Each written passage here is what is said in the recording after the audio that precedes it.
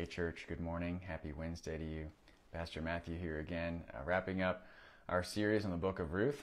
And you'll remember that the book of Ruth is a book about suffering, and it's a book for anyone who's trying to reconcile the love of God with the brokenness of this world.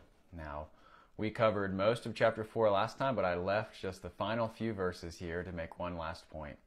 We're given a genealogy at the very end of the book of Ruth, and in that genealogy, we find out that Ruth and Boaz ultimately uh, are the ancestors of the great King David. Now, if you're familiar with the history of the Old Testament, you know that David was the greatest of all the Old Testament kings. Um, and he's the, the king who points forward uh, to an even greater king, and that's Jesus. And so this highlights for us that God uses our suffering as part of his plan of redemption. God uses our suffering as part of his plan of redemption uh, for this world. Ruth and Boaz and Naomi had no idea that's what was going on. It would be after they were dead that David would come, and yet God knew. God knew that he was using them uh, for his purposes. And so the same is, is true for us. God uses our sufferings as part of his plan of redemption. Not in the exact same way, of course, um, but it's part of his providential plan for this world. And just as Ruth and Naomi and Boaz couldn't see all the good things that were going to come of their small time on earth, neither can we. Uh, but we can trust God in the midst of it because, of course, that plan of redemption includes Jesus suffering more than any of us have suffered or any of us ever will suffer.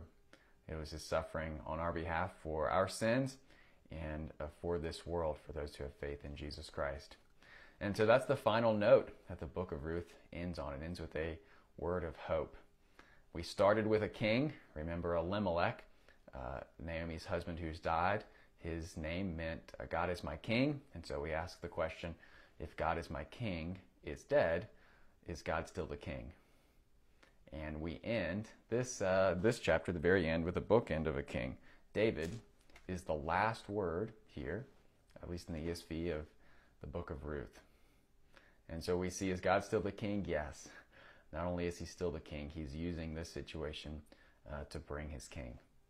And so we can also take tremendous hope and comfort from that, knowing that God is also at work in our lives. If we are people who sacrifice, God uses normal people. He uses normal people like you and me when we choose uh, self sacrifice over self fulfillment. And just like Boaz didn't see the effects of that right away, we may not as well. Our consequences of our actions can ripple for generations. It was many generations later that David was born, and yet God sees you and he honors you as you walk with others in suffering, just like he did for Boaz. If you're someone who is suffering, God sees you and he hasn't left you alone. In the same way that he saw Naomi, even in her bitterness and her despair, he didn't abandon her in that moment, um, but he used her as well. As we saw in chapter 3, he used her prayers and he used her to answer those very same prayers. And so we can take heart, we can trust God in suffering, even if we don't understand. And we can hope in God because He's with us and He's providing for us. And we hope because, of course, David's the end of this story, but he's not the end of God's story. Our hope is in an even greater David, and that's Jesus. The New Testament presents him as greater than many of the figures of the Old Testament. He's a greater Moses but he's also a greater David. He's the great king who's greater than any other king. And he's the king who's going to suffer for us and one day put an end to suffering. And so suffering is part of a greater story that God uh, is writing and has written for us. That was true for Ruth and Naomi, and it's true for us as well. And so, no matter what we're facing or going through in this world, we can take tremendous hope and comfort if we belong to Jesus.